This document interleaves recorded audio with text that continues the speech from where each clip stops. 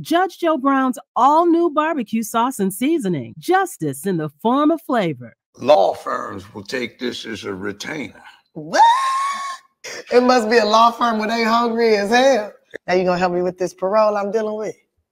Judge Joe Brown's all new barbecue sauce and seasoning, justice in the form of flavor. With one taste of our premium blends of all natural ingredients, herbs, and spices, mm, you'll fall in love with meat all over again. Judge Joe Brown's all natural barbecue sauce collection is made up of two zesty flavors, original and spicy. There's only one way to bring order back to barbecuing. Just add Judge Joe Brown's all natural barbecue sauce and seasoning, and you be the judge.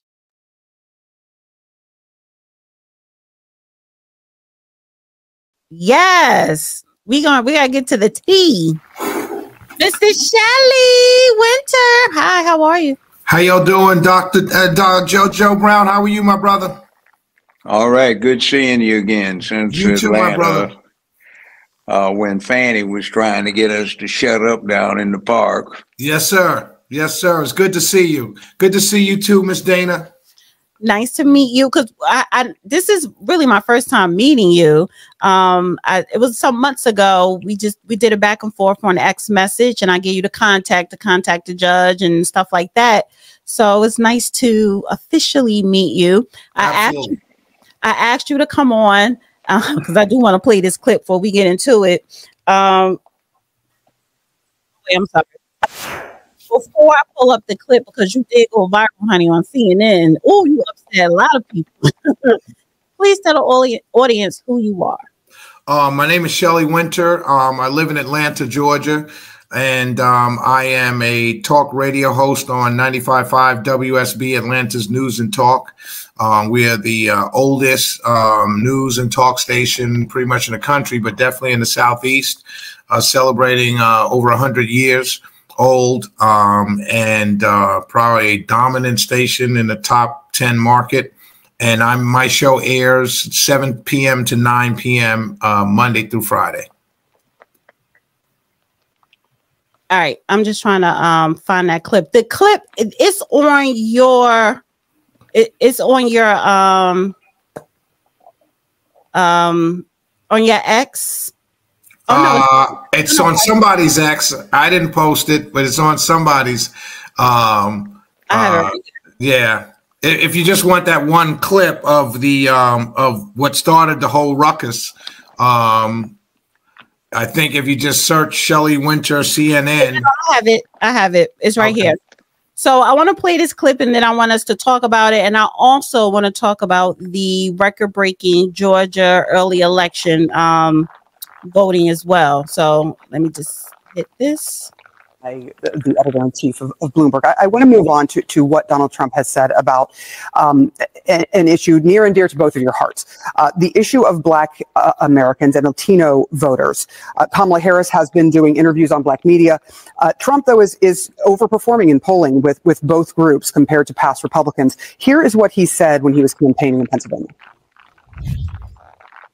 Any African American or Hispanic, and you know how well I'm doing there, that votes for Kamala, you got to have your head examined because they they are really screwing you. They are really screwing you.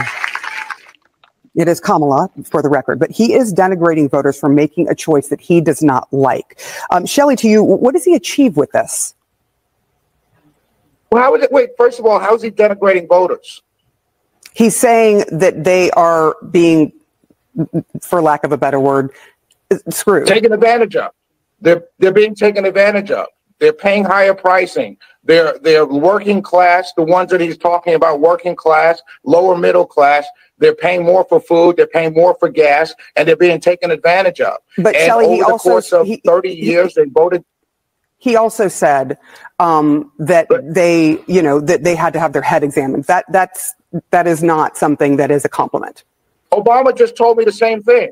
Obama just told me the same thing. I've got black women words. telling me I'm not really a. a he, he inferred them. He implied them. He certainly did. He even threatened us with "You're lucky Michelle's not here." I mean, come on. Let's not make things up. Let's be honest here, and let's really be clear what's being said.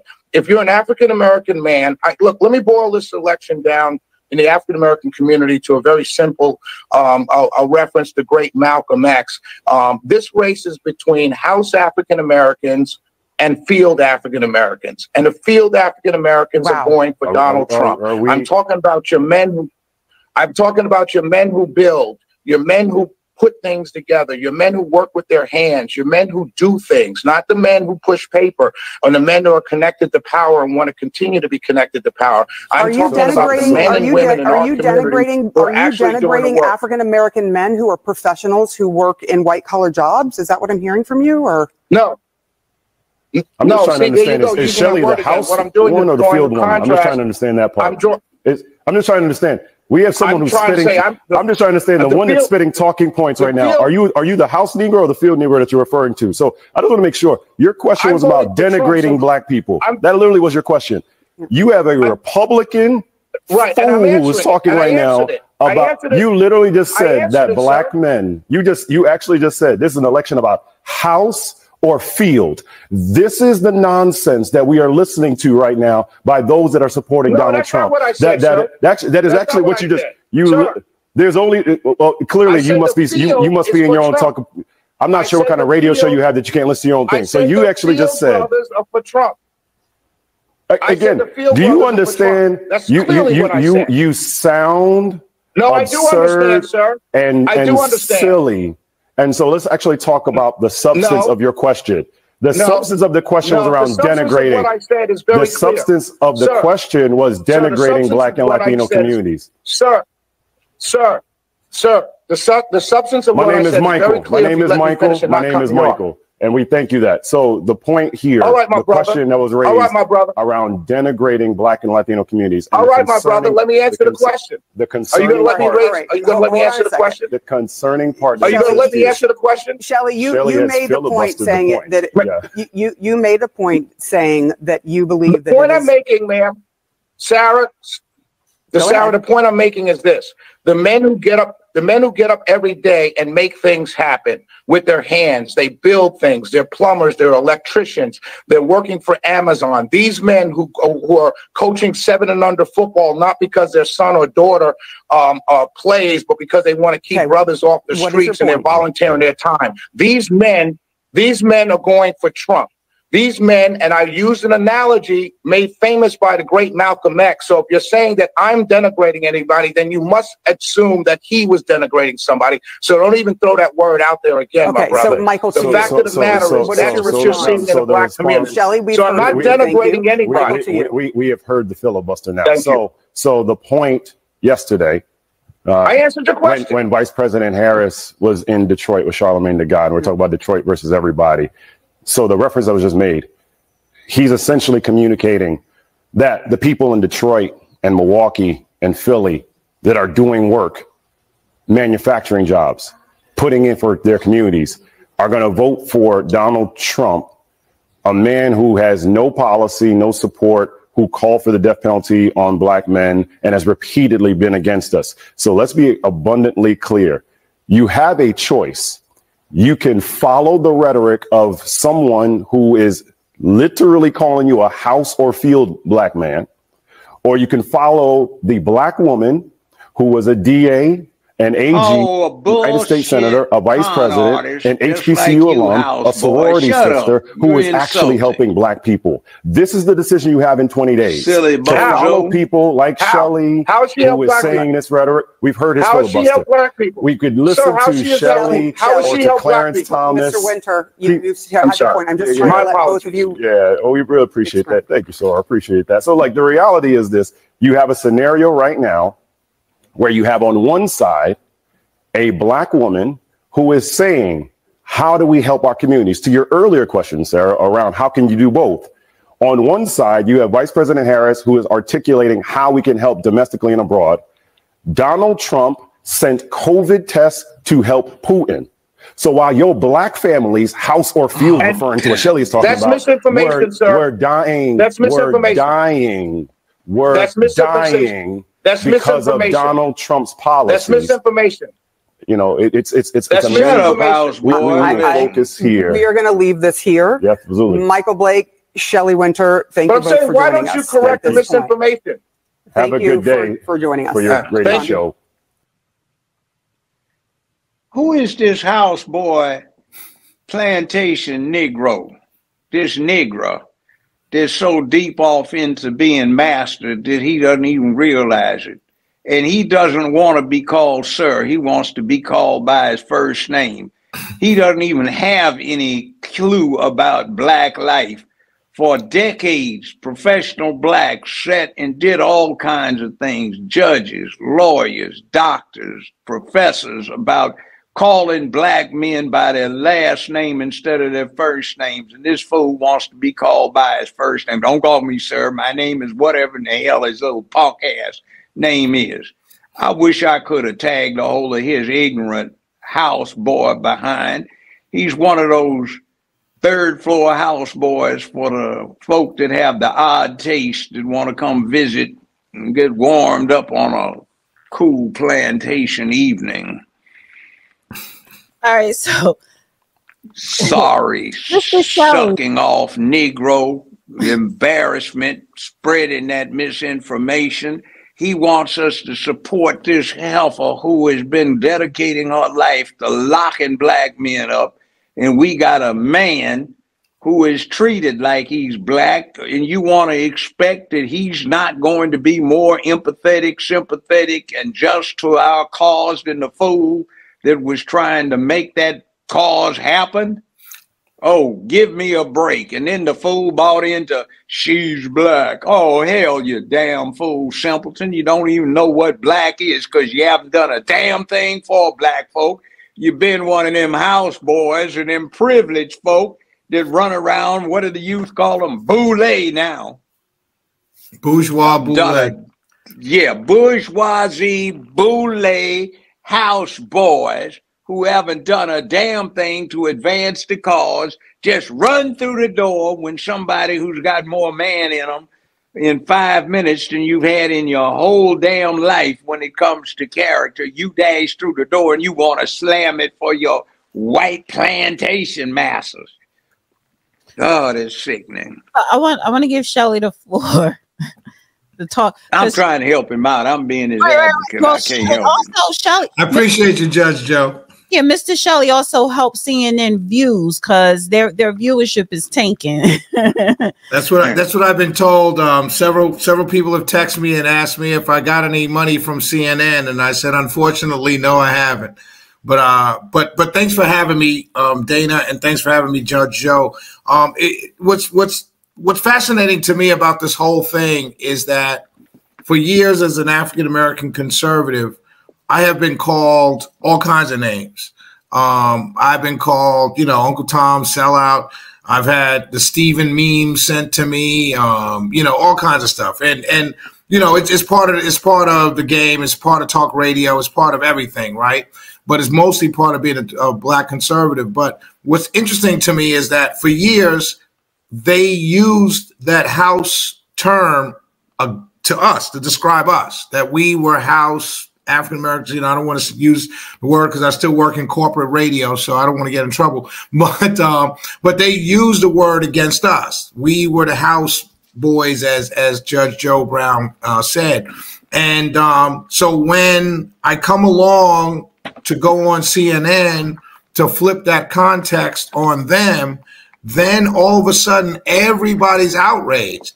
And I'm thinking to myself, so you can't have a debate with me about it. You're just outraged at something you called us that I'm now flipping this concept onto you. And I'm flipping it onto you. And if they would have let me speak and get me get the whole thought out, what I was saying was forget, you know, Democrat, Republican. Forget that for a second. The fact is, Kamala Harris is endorsed by dozens of retired generals. You're no more the empire than a general. Um, these people work as lobbyists, they work with defense contractors. A defense contractor can't get a contract unless there's war afoot. You know, if there's no if no one's firing weapons, then you don't need a contract with a defense contractor. She's endorsed by former national intelligence analysts and people who worked in intelligence. I never knew black people to really trust the intelligence community. Now all of a sudden they're jumping up and down that she's endorsed by these people. She just went to Pennsylvania and cheered the endorsement of form of, of Republicans. I, Republicans were racist. Through, a year ago, all of these people were racist. Now they're all like, they're endorsing her. So I'm like, well, then are they not racist anymore? Were they racist then? Like, where's the logic here? So my point was to Malcolm X's analogy, he was talking about leaders in the black community who were not doing anything for the masses of blacks, were just creeping along to keep their power, to keep their influence going while just making incremental change, if that, for the black masses. And that's why I use that analogy because this woman is in, is is is literally endorsed by a corrupt system and everyone involved in this corrupt system that we can all agree, Republican or Democrat, that the system's corrupt. And the entire corrupt system endorses her, and the entirety of the corrupt system hates him. So, as a black man first, and, and a man second, and and and a Republican third, whatever you want to describe me, uh, a fiance to a beautiful black woman, all of these things, talk radio host, all of these things that I am, I've got to logically say if the corrupt system hates him, I've got to go with him. Whether I, I don't know the reason why the corrupt system hates him so much. I kind of do, but I don't need to know why. I just know they do. So I've got to go with him. I'm certainly not going to call a system corrupt and then vote where it wants me to vote, which is backing her. It makes no sense to me. So all of these people that are systematically standing up to defend her, they've got to be part of the House clan because there's no other way to describe them. I want to ask Shelley, what do you think about that black agenda that Kamala Harris just put out? Um, well, let's go back a little bit. A couple weeks ago um, on my show, I have been talking about the polling numbers for um, Vice President Harris um, for a couple weeks now. And I've been talking about the loss of the black vote that the polls are showing she's losing. Now, here's I do want to answer your question. I, I, just, you know, um, let me if you give me a little leeway, I appreciate it, um, Dana. I appreciate both of you. Um, so when people like myself were talking about these cratering numbers in the black community, um, these other guys were on the major networks. One saying the polls were lying. They had no, there's nothing that they're seeing that black men are not going to eventually turn out or black women, whatever the case was. They said all the polls were lying. So this was a couple weeks ago. Um, then Barack Obama comes out, says what he says, which tells you that they see the same numbers. And then she rolls out this black agenda for this agenda for black men, which tells me that you saw the cratering numbers and now you're coming running at the last minute, 21 days before the election to say, This is what I'm going to do for you. And I'm thinking to myself, to answer your question, one, anybody that's cheering for that agenda, you're a patsy. Straight up, you're a patsy. The reason why you're a patsy is because you're like a woman in a bad relationship. Like the woman complains, she complains, she complains. She starts to pack her stuff up to leave, and now you're going to have flowers delivered to her. Well, the woman that stays is a patsy. The woman who continues to pack up her stuff and leaves understands that this is just something to pacify her in this moment. Um, and that's what I see at this agenda. Um, the fact that you're leaving it to the last minute to deliver to your base and it wasn't the first thing you rolled out with, understand these people were the people that got you elected in the first place. They got Joe Biden through South Carolina. He became the nominee. They forced him to pick a black woman. They picked her. He picked her at the behest of leadership in the Democrat Party, which was all African American. So he was forced. So she's there because of black people. So when you get pushed to the top, selected by Joe Biden, no primary, the first day that Sunday afternoon, you should have rolled out your black agenda because that's who put you there. Now, when but you just knew they were going to be there, so there was no reason to give them anything. And I say them not because they're different than me, only in the fact that they're not. She's not giving it to me because I'm not voting for her. So that's why I keep saying them, just so for the people out there that like to pick up on those silly things, right? Um, so you know what I'm dealing with on a regular basis, and I know y'all deal with it I too. deal with it too. Yeah. They're not like me. Right. I'm not like that. I'm not Right. a punk. And by the way, that dude, uh, I'm older than you. And for my generation, when we talked about sissy, we had somebody like him in mind. That was the visual image of being a sissy. So so anyway, on the um, so so that's what I mean about the agenda. Um, um, that's what that's what my opinion is of it. First of all, she's not going to do any of it. Um, one, she can't do half of it, um, and she's not going to do the other half of it. What's fascinating to me, there's a part in the agenda.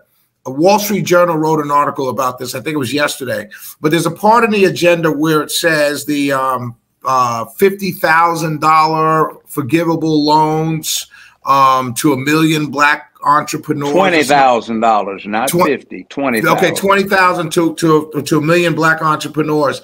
It says in that agenda, it says black men and others. And so the and others is the key to the whole thing. The the issue becomes the and others means that you're not giving 20,000, 30,000, whatever the number is to a million black entrepreneurs, you're giving it to everybody. Um, and they're saying their cover for it is, well, we know constitutionally we can't direct monies to a specific group. Well, that's how they beat us in affirmative action when they added white women to affirmative action. Well, we can't do something for a specific group, so we'll add in everybody else, which means you're not doing anything for the base of your party. Um, so I I just think it's a game, and to show up at 21 days before the election or whatever number of days it is with your plan for the base means that you treat that you they're the bottom. Uh, you know, the, the Democrat Party is Silky Slim the pimp, and the black community, the black voter in the Democrat Party is the bottom. You know what? Um, and that's how they're being treated. And and if you want to be treated that way, that's fine. But I'm telling you that if you can't see how badly you're being treated, um, then there's really nothing I can do. But don't call me a name because I choose to go in a di- different direction than you because I, I think that's more telling than anything else. The reaction to our vote because we're voting differently is so visceral and so emotional and so angry. Um, it, it just it speaks volumes. And there When are you're talking about facts and logical, rational, and reasonable uh, circumstances and considerations, they're just going off little catchphrases that the white folk have told them, the liberal whites. By the way, what did you think of point five about legalizing marijuana and uh, facilitating black folk, I guess, taking their $20,000 deductible so they can get into the marijuana sales business? You know, I, I I talked to a good friend of mine who is tr- been trying to get in that business here in Georgia because here in Georgia we have medical marijuana, and Georgia.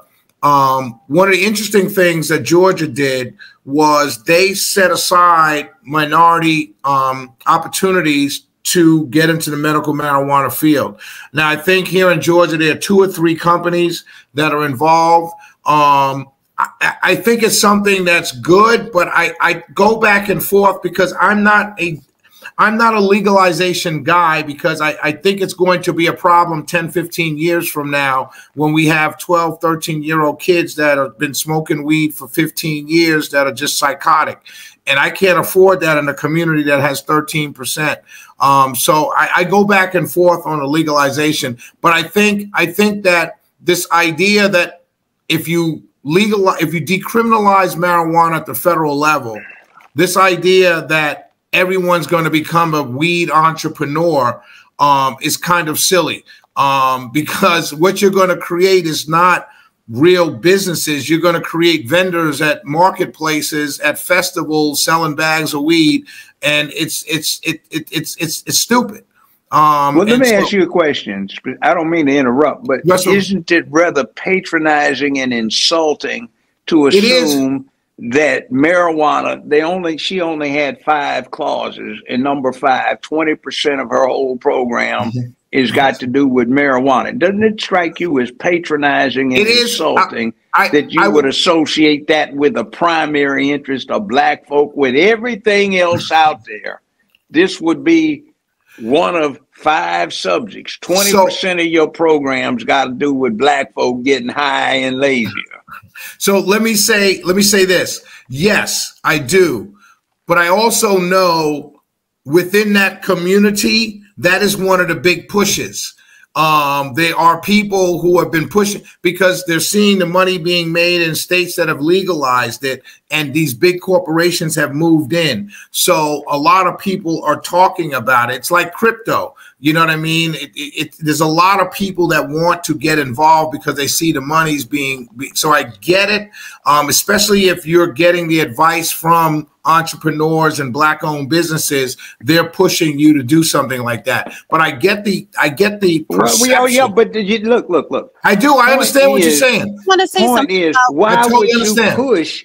I'm, I'm not you so much, but Right. why would she push this dysfunctionality for Right. something positive? It go- like the other one, number two, about getting black men into education as teachers.